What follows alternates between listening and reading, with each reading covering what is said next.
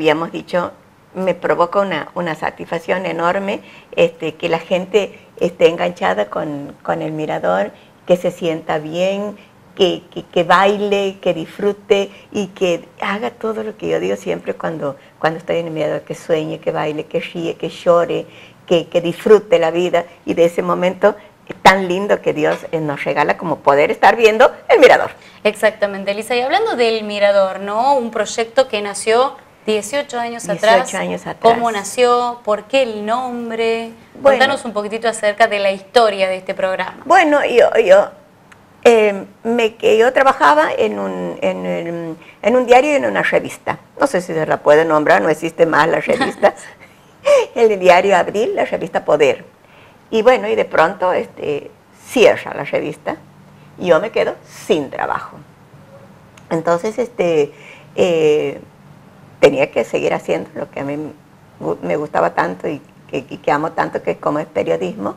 Y me encontré, siempre lo he contado, pero como dice Mirta Legrand, el público se renueva.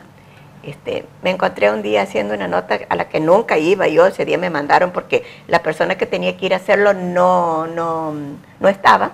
Me fui a casa de gobierno, no recuerdo cuál era la nota, y me encontré con, con Maxi Rodríguez.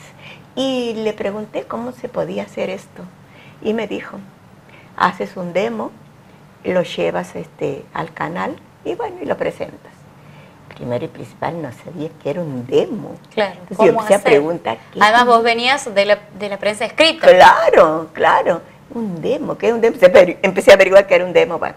Y vine aquí. Y en esa época no existía tanto internet, digamos, como no, no, no, no, no, te imaginas. Y bueno, y nada, este, hice el demo, vine, me presenté aquí ante el ingeniero Gane. Y bueno, y le presenté y le dejé, con la esperanza obvia que me llame, ¿es cierto? Y bueno, yo sorpresa cuando me llamó, porque era, no había un programa así más o menos como el que yo presentaba, había realmente. El canal era nuevo, tenía dos años recién. Y bueno, y me aceptaron. Y ahí comencé, comencé así con una cosa así un poco tímida, ¿no es cierto? Era la primera vez que hacía televisión, pero como a mí me gusta mucho, tengo mucha actitud. O sea, no, no es que la cámara me ahuyentó, no, no, para nada, para nada. Entonces, este, y comencé así, y seguí, seguí, seguí. Y, y para mí, cada puerta que se me iba abriendo a través del mirador era para mí algo que me deslumbraba cada vez más. Y era además un compromiso más y entonces iba viendo qué más este, eh, em, agregar, qué más hacer. Y cuando me comenzaron a invitar, invitar, entonces dije, upa, qué bueno, qué bueno estas cosas que me están pasando. Y bueno, y siempre, por supuesto, pero además fue una cosa, ¿cómo te, ¿cómo te puedo explicar? Fue una cosa mm, mm, muy gratificante para mí que, que este canal me haya abierto las puertas, porque ni me conocía, ni sabía qué era lo que hacía. Era la primera vez que yo iba a hacer una cosa como esta. Entonces, la confianza también. Sí, el ingeniero Gannen dijo, bueno, vamos a intentarlo. Entonces, para mí eso es, realmente es una cosa que no tiene precio. y creo que eh, creo que ser la única de todos los que hacemos programas independientes es la que se ha metido así, digamos, un poco más en la familia del, canal. Porque, y la que se mantiene hace tanto tiempo. Exactamente, se mantiene. Y, siempre estoy presente en todo lo que hace el canal. Y, siempre tengo, obviamente, puesta, recontrapuesta la camiseta de Canal 4, que ha crecido muchísimo a pasos agigantados y realmente también es una satisfacción poder eh, saber que uno ha puesto ese pequeño granito de arena para, para, para que también esto para que siga, creciendo. Para que siga creciendo. Realmente este, para mí es una satisfacción grande. El mirador, yo no sabía cómo, cómo, ¿Cómo llamarlo. No, no, no sabía cómo llamarlo. Y, este, y un día echarle con Sergio Romano. ¿Cómo puedo ponerle a esto? Dije. ¿Cómo, ¿Cómo se puede llamar esto? El mirador. Lo tiramos así, el mirador. ¿Por qué el mirador? Pues bueno, porque, porque anda por todos lados mirando. Mira, mira, mira por todo. Y bueno, y quedó el mirador. Y quedó el mirador. Y después este Manuel, Manuel Moliné, un, compañero que yo tenía en, el diario Abril, la revista Poder, me creó el logo que lo, lo mantengo. ¿Lo tienes en estos 18 siempre, años? Siempre, Y después este, mm, un señor, este, como es apellido Guzmán, que me hizo en el micrófono, me hizo la, cobertura del micrófono, me hizo con el la identificación. La identificación me hizo, y bueno, y fueron, así fue gente que fue colaborando para que esto este, siga creciendo y siga siendo lo que es. Y realmente este, este año, estos 18 años que voy a cumplir, todavía creo que no lo puedo creer. Todas las cosas que, que he obtenido y más que nada, te vuelvo a repetir, el cariño de la gente, la relación, las relaciones que, tengo a través del mirador, este canal que, que, cada vez me da una apertura para que yo me sienta cómoda y trabaje recómoda, mi agradecimiento este, a todos los directivos de este canal, a ustedes que me han invitado hoy, que para mí la verdad es un honor. Te hicimos madrugar, pero... Eh, no, yo, te, quiero contar que yo soy, este, yo soy madrugadora.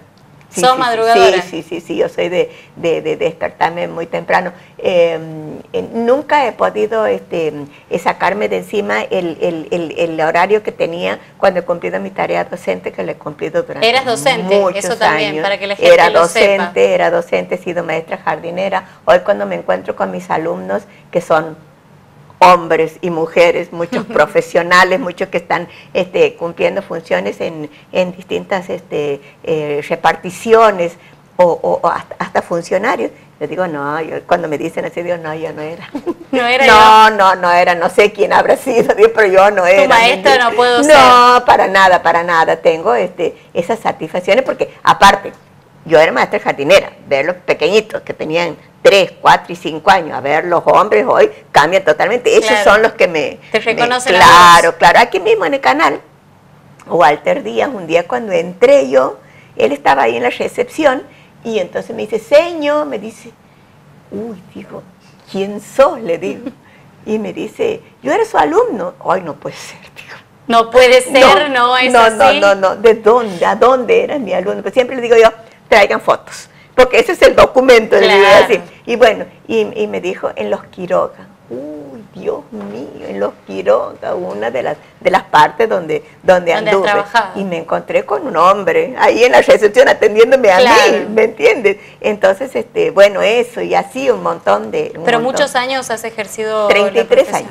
33 años. 33 años ejercí la profesión de, de, de maestra jardinera en varios lugares. En varios lugares, estuve en, el interior, estuve en la Cañada, en Cañada de Escobar, estuve en, Los Quiroga, y después cuando estaba en Los Quiroga, este, me mordió un perro.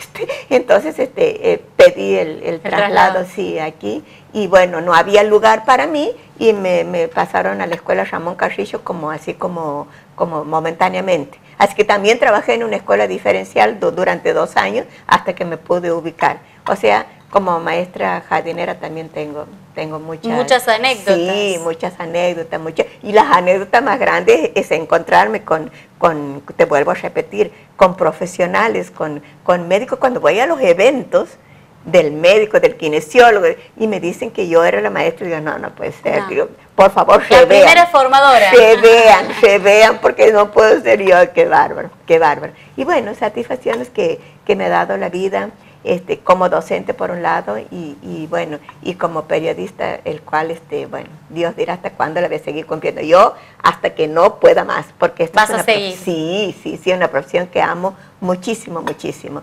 Y a la gente que hago, que hago eh, que le robo una, una, sonrisa y a la gente que, que divierto mucho, le quiero contar que no siempre estoy con esa sonrisa, voy a grabar mi programa con esa sonrisa. ¿Por qué? Bueno, porque los años nos traen algunos problemitas de salud. Yo tengo un problema que tengo en una pierna mía, en mi pierna derecha, tengo un problema. Y cuando muchas veces salgo bailando y bailo y y después me siento y me caen las lágrimas porque tengo algún dolor. y la gente, la gente cree que estoy divina y vuelvo, vuelvo, se hace el corte, vuelvo de nuevo y yo estoy divina, divina. pero no. Lo importante es eso, transmitir una buena actitud, alegría a la gente, a pesar de los problemas que uno puede tener en la vida. Porque yo también tengo problemas como, vale, todo. humano. Exactamente, exactamente. Ese día también tengo dolor, tengo tristeza, eh, me pasan cosas, extraño a mi hija que está lejos.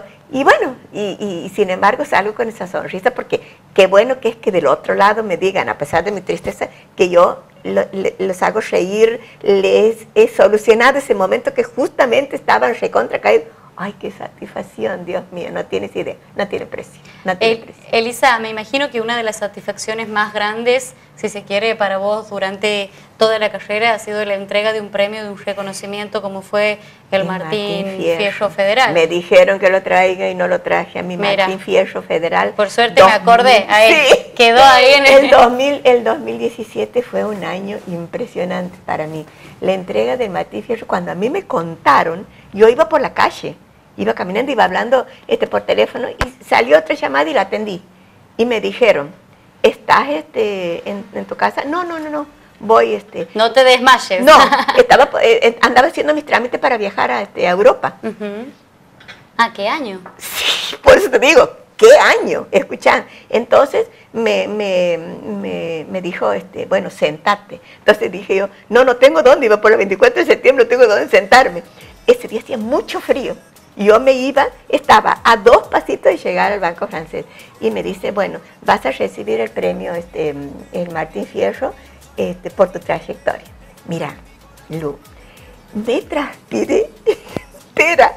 Hacía mucho frío. Hacía frío, pero para vos hacía un calor interno. Escúchame, nunca llegué al banco, te cuento porque no, no podía, me temblaban las piernas y me volví un poquito hasta un lugar donde yo estaba trabajando. Ahí estamos viendo el momento, Elisa. Creo que tu cara lo dice todo, ¿no? Cuando me fui a recibirlo, yo me fui con mi hijo que me acompañó y le dije, acompáñame hasta, hasta el escenario. Y me dijo, no, no, no, vete por sola. Vete sola, claro, ya era demasiado. Escúchame, no sabes cómo llegué. Llegué, pero no sé, me parecía que no llegaba, era una distancia cortita, pero mis piernas no me daban. No, no, no, no, no. Ese día, además, eh, recibí un poquito antes cuando me estaba, este, me estaba cambiando en el hotel, que el señor Francisco Pérez Nazar me regaló la estadía ese día en el hotel para que yo me cambie tranquila en, el Amerian. Dios mío, y recibí la llamada de, Mario Masachesi, que hace unos días. Habíamos había hecho un curso. Eh, claro, haciendo el curso. Bueno, no, ya era demasiado. Muchísimo. No, no, no. Era demasiado. Había aire acondicionado fuertísimo, pero yo me transpiraba, me transpiraba. Y cuando me fui a recibir el Martí Fierro, no, no, no, no, no tienes idea. No, no, yo, yo quería que te Hablas ahora y se te llenan los ojos de lágrimas. mira, mira la emoción que dura en el tiempo. Ahí está mi hijo que me estaba filmando en vivo y yo, yo me, yo me quería, este, me, quería, me quería bajar. no, no, no, no, no, no, no daba más. Me, me dolía la pierna más que nunca. Ay, Dios mío, Dios mío, fue una cosa impresionante. Y te quiero contar, este año el Mirador también va a ganar el, el ¿Otra vez? Sí, sí, yo me lo he propuesto. Y este año, el, esta vez, eso ha sido por mi trayectoria. Esa vez, ahora va a ser por el Mirador. Tiene que ganar. Como programa. Como programa. Elisa, ¿y el programa este vos lo haces sola? Veíamos ahí hace un momento de gente que, que fue pasando, eh, un equipo que te acompaña. ¿Cómo es el tema? El, mi equipo es la gente, son los, los camarógrafos que tengo, eh, a, veces según las ocasiones, tengo tres, cuatro camarógrafos, eh, que, obviamente este, trabajo con, con este Andrés López, al cual le, mando un abrazo, este, que es la productora de él, y bueno, eh, él siempre me manda un camarógrafo que están destinados para el mirador. Obviamente, como ellos tienen otras actividades, este, van rotando. Van rotando. Y, y la producción la hago yo. ¿Sola? Sola. O sea que no tienes un equipo que te respalda, sino que es más bien un trabajo solitario. Exactamente. Y, bueno, y la compañía, ¿no? Sí, sí, sí, sí, sí, sí, exactamente. Soy la que me busco la ropa, me voy, me busco la... Eh, eh, este, hace bastante tiempo que no tenía, por ejemplo, quien me ponía los zapatos en el, en el mirador eh, porque hace varios años atrás una firma grande de aquí dejó de hacerlo y después no conseguí más. Y este año, eh, por suerte, he conseguido ya una nueva firma que eh, a partir de este año va, a poner los zapatos y bueno, y la ropa Eva One. Eva One me, va a vestir eh, este año a 18 años.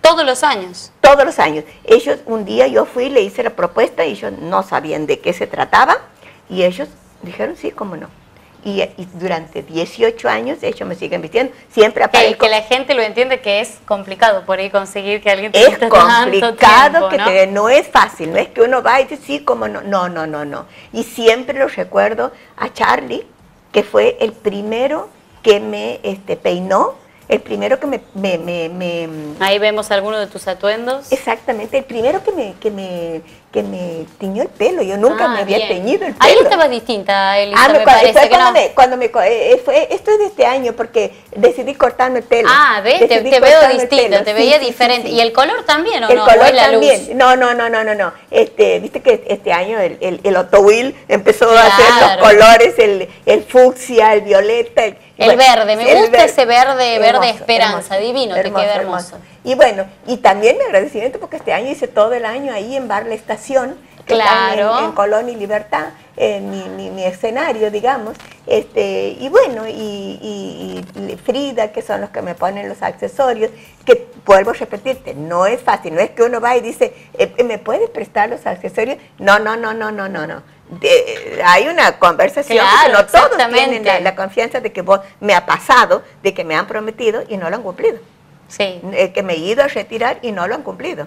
¿Me entiendes? Entonces, y la producción para los videos, por ejemplo, también lo, lo realizas vos, porque hace un momento veíamos, creo, el del mercado Armonía de la Escalera. No, no, no. También eso, eso, tienes ayuda, cooperación. Sí, sí, eso con, con Andrés López con Andrés López, con quien este, eh, eh, eh, trabajamos en la producción de los videos, que ahora, bueno, ahora estás preparando algo, a ver, para que la gente pensando que vamos sepa cuándo va a ser el lanzamiento de, la propuesta siempre salgo el 8 de, marzo, el Día de la Mujer. Bien. ¿Sí? Entonces, este, siempre, bueno, tratamos de que, de que tenga relación con, con con edificios. Ay, eso ha sido impactante. Esa es. No, no, no, eso ha sido. A ver si tenemos un poquitito del audio también para que lo compartamos. Eso ha sido lo que ha marcado realmente este lo de lo de lo de mm, eso es Cristóbal, mira, también un lugar que me, me, me, prestó el lugar para hacer esa grabación, este Cristóbal, el salón de eventos.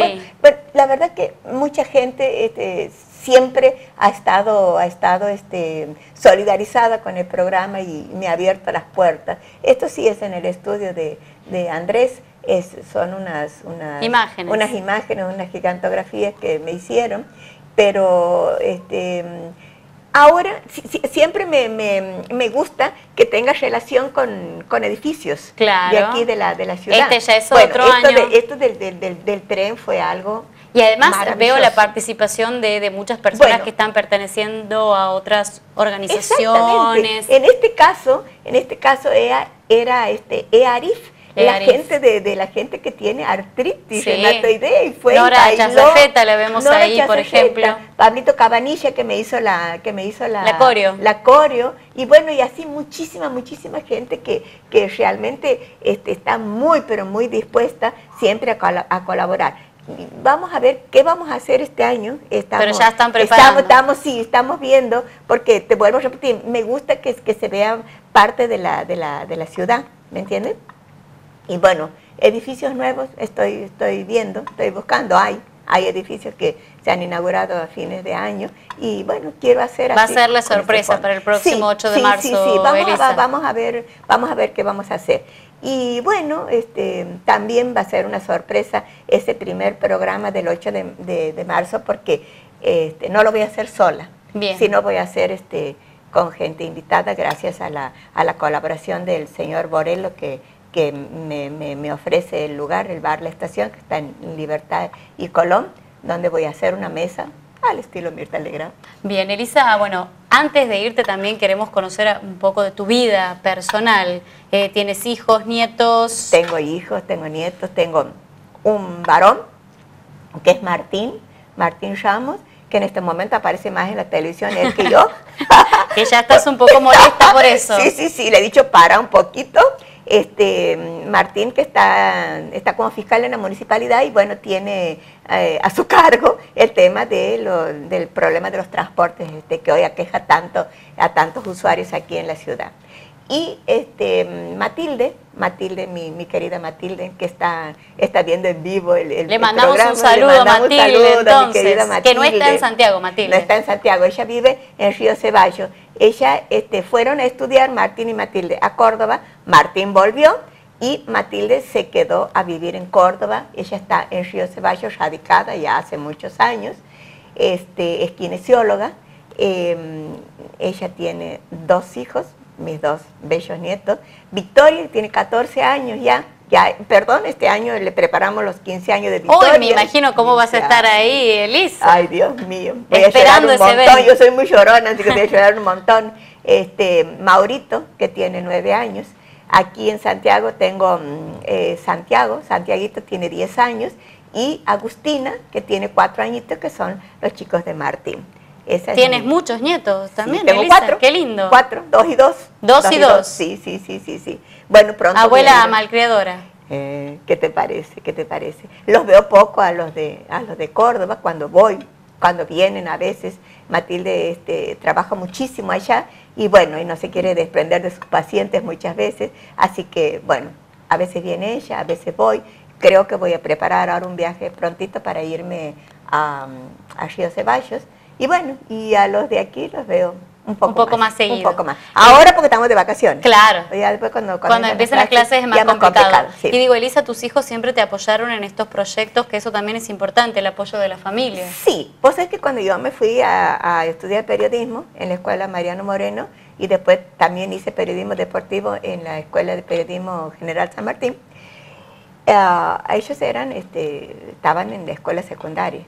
Y bueno, no veían con muy buenos ojos que la madre se iba, porque era a la noche. Claro, que se iba a estudiar. Iba a las 7 de la tarde, volvía a las 11 de la noche, eh, terminaba y llegaba a mi casa a 11 y pico de la noche. Muchas veces ya estaban durmiendo y qué sé yo. Entonces, no estaban muy, muy de acuerdo que eso pasara.